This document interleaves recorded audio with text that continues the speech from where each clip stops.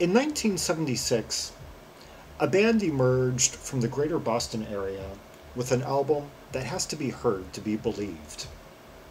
The band in question, Band X. No, not Brand X, Band X. Although, somewhat confusingly, both acts released their first albums in 1976, and in the case of Band X, their singular album titled The Best of Band X. No, not a compilation, an actual album, the brainchild of vibraphonist Craig Peyton, and from that album, the track Picking Mushrooms with Rabbit.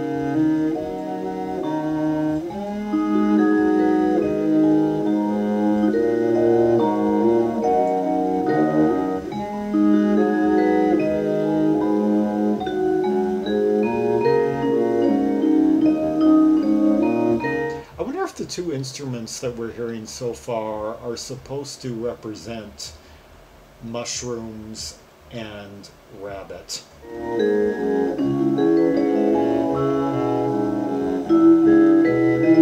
And if so, uh, which is which? Would the um, would the string be uh, the mushrooms and the vibraphone be rabbit, or vice versa?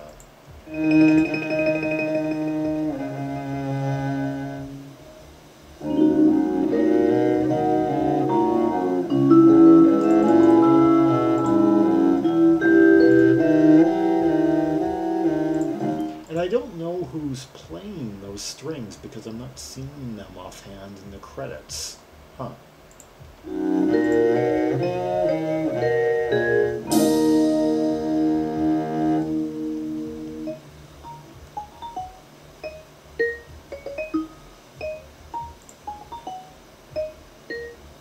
And that is uh, Craig Peyton, who would later front um, oh some o- some other bands under his own name and uh, be quite prolific over the next few decades.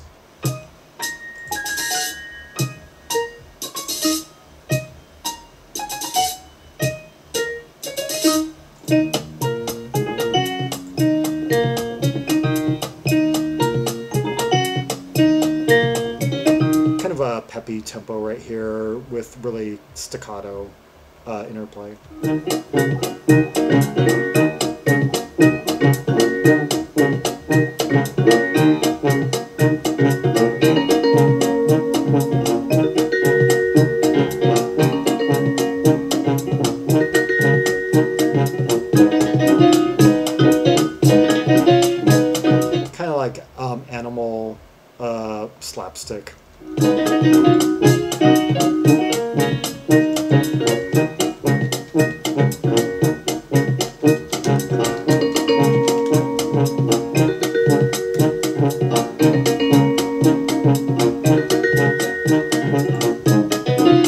Kind of uh, conjures up sort of an anth- anthropomorphic, anthropomorphic uh, vibe musically. I, I, I- because it reminds me of, of the of the kind of uh, incidental music you'll hear like in old um, Looney Tunes.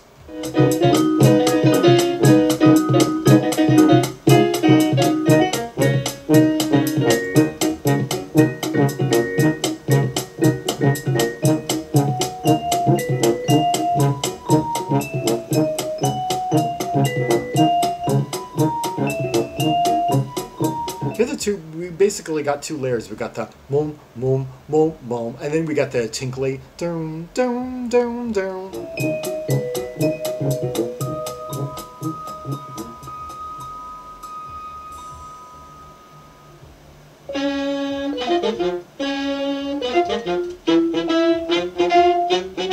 Hear that? Hear the uh, glowy uh, vibraphone that that's playing under the uh, the woodwinds. Yeah. It's being kind of like buried, but it's giving like it's it's creating like this glow underneath the woodwinds.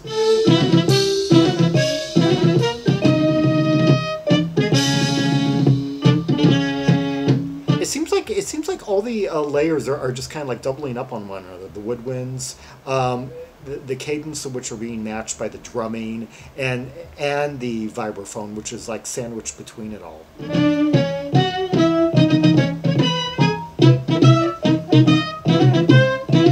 It's just da da da da da da da da da da da.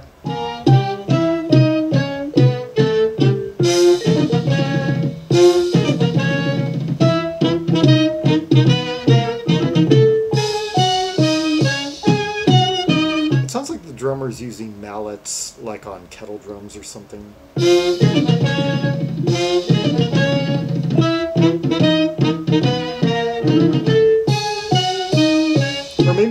mallets sometimes.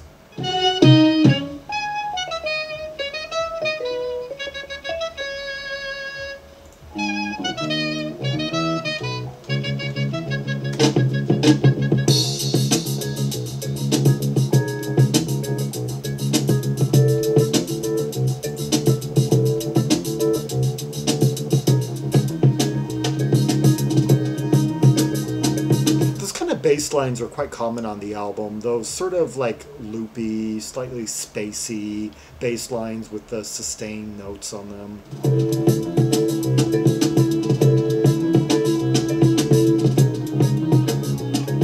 Kind of like a smooth sustain, being encircled by this guitar.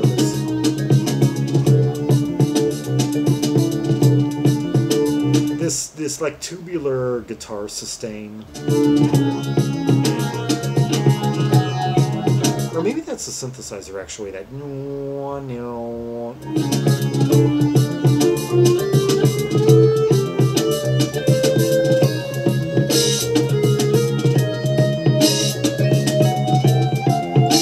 Yeah, it's synthesizer.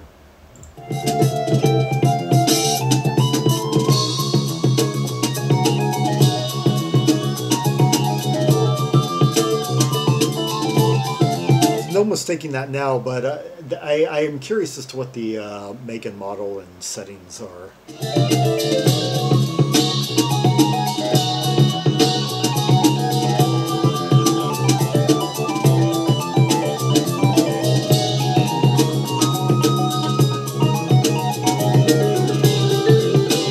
Basically, just uh, grooving between half steps like D, um, E flat.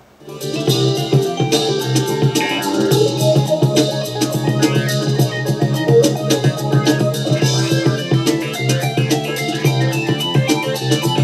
hear that synthesizer kind of like like envelope and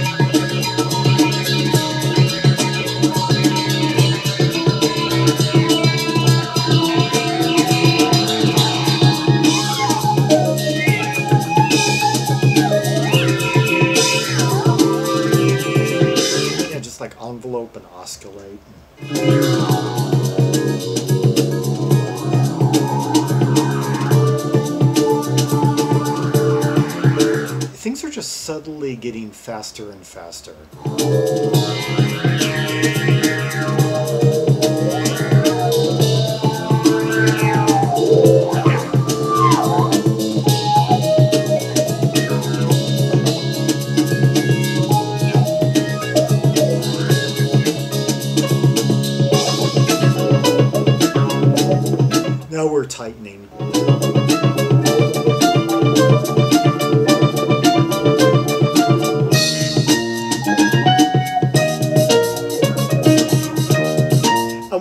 Again, things are like doubling up on each other and matching cadence wise. Like the, the right here, the the piano and bass are, are basically mimicking.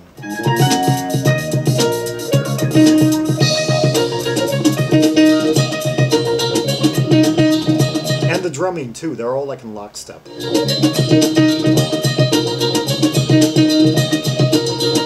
That's kind of uh, uh, unusual, I guess, in, in, in this kind of music from the time period where um, they, they're they're alternating the these uh, the, these phases where, where everyone's just like playing in unison versus like where people are, are just kind of playing counterpoint.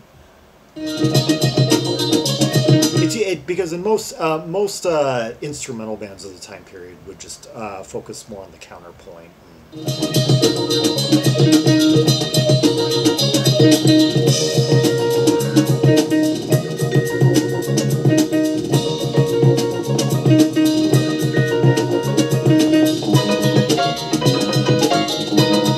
are starting to kind of come undone from one another.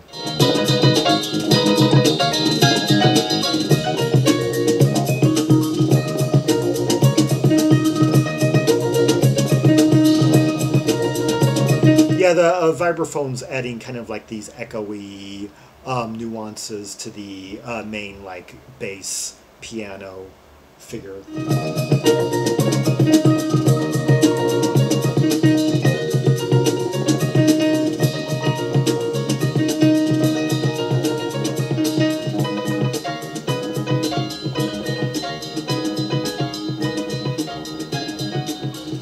That's the key of the band's um, like hypnotic spacey quality. They go in and out of playing like in lockstep um, and then counterpoint, and they slowly kind of wind up and then wind down, like subtly getting faster, then slower again, and that matched with the unique sounds that this band is employing, like like smooth bass um, staccato vibraphone and piano, um, clean, um, slightly enveloped synthesizers, uh, and and soft drumming that sounds like it it's like like padded mallet um, drumsticks. Uh,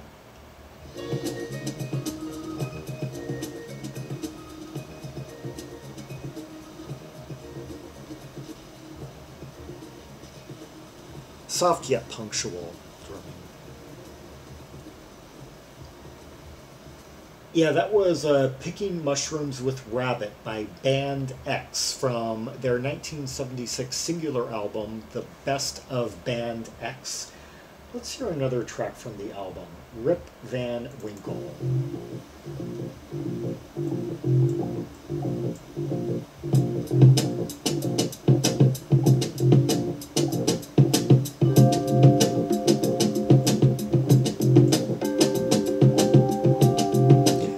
Different uh, structure than anything we heard in that last track. A bit more, a bit funkier.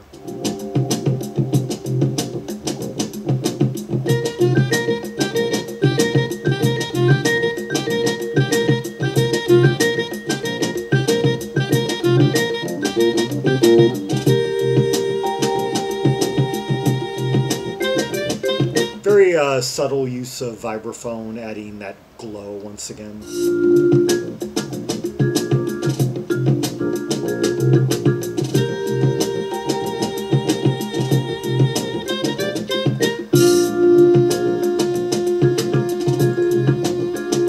Woodwind carrying the main melody.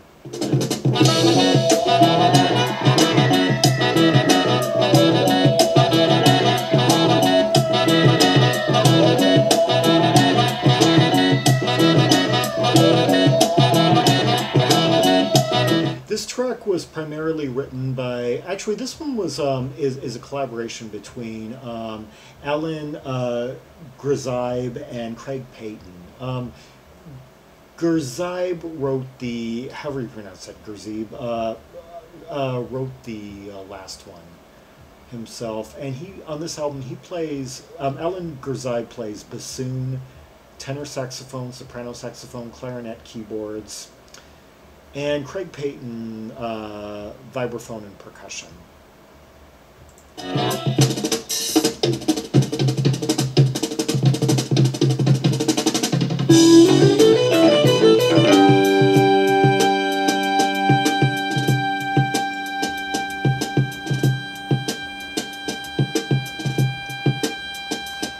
Just had a tease of some crisp bass.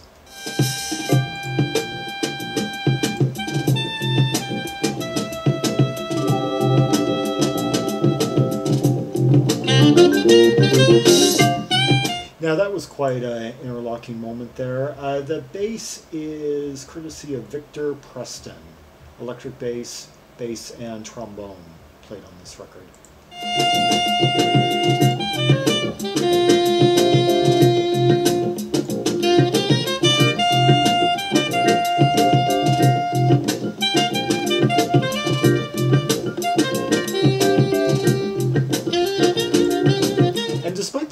On display from uh, the guys who were surrounding Craig Peyton on this record. Uh, their their only credits outside this album were the uh, 1980 release by the Craig Peyton Group, the main, basically a, a follow through on this project.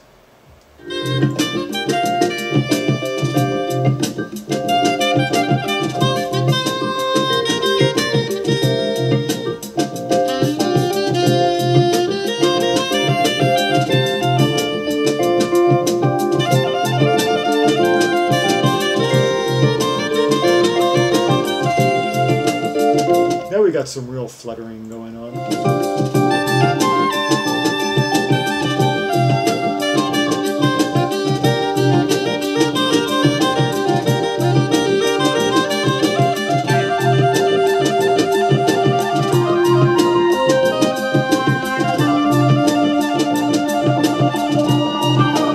Pretty impressive. Really kind of like, uh, oh, just like birds in flight sort of vibe.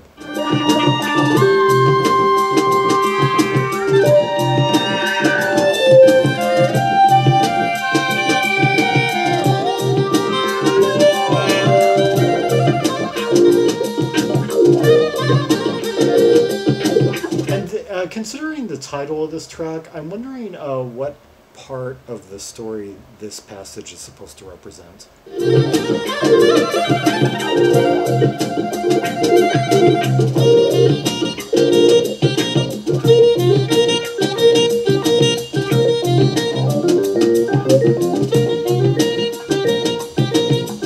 Is this supposed to represent? Let's see, we're about um, three fourths of the way through. Is this supposed to represent the part where Rip Van Winkle comes back into town looking for his family?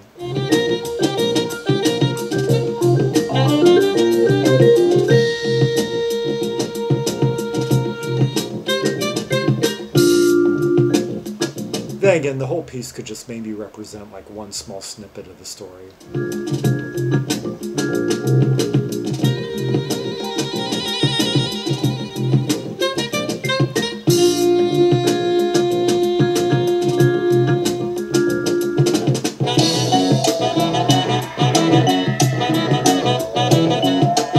This is probably the uh, the part where he wakes up. Hear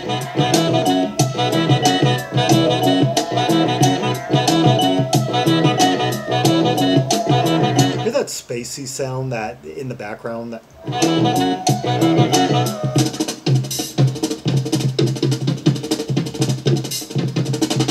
And that drumming is by Joey Bellomo, who um, I guess uh, recorded under an alias.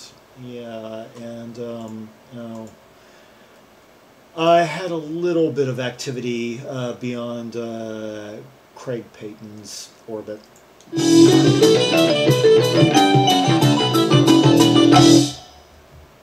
That was quite a tight final moment there.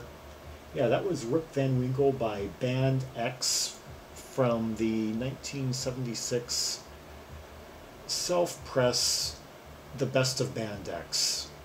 Yeah, re- released on their own self titled label in small quantities back back in the day, and then um, given a major reissue. Or uh, it's it's had quite a push in recent years since it was I reissued for the first time in t- 2012 and then 2014 and has uh, been gaining quite a reputation in the last few years as uh, an album quite ahead of its time and quite uh, just unparalleled really. I mean uh, that's why I didn't go into many descriptions because uh, descriptions just don't do music like this justice. Um, I uh, noticed how um, there there wasn't a lot of changeover in this music. There there wasn't like a lot of like abrupt changes in, in like different sounds and textures. It's like everything just kind of like fades in, does its part for a while, then kind of fades out. Things kind of just like gradually kind of interlock and then gradually come undone. Yeah, it's it's so it's in that in those ways it's different than, than a lot of the other stuff I've covered. So I just kind of like had to let the music do do the talking. Yeah. Anyway, Brand X, Rip Van Winkle, and before that, Picking Mushrooms with Rabbit. For more rubies and sapphires from the very ruby packed Band X album, The Best of Band X, see the directory of albums um, from 1976, linked in the description below. Like and subscribe and follow me on social media and leave a comment if there are any observations you have about the two tracks we just heard the layers, the nuances, the instrumentation, the sounds, how they wove together, how they complemented one another, um, which passages stood out to you. And until next time, this is Zaragon, the world's most air travel tram maximalist, signing off.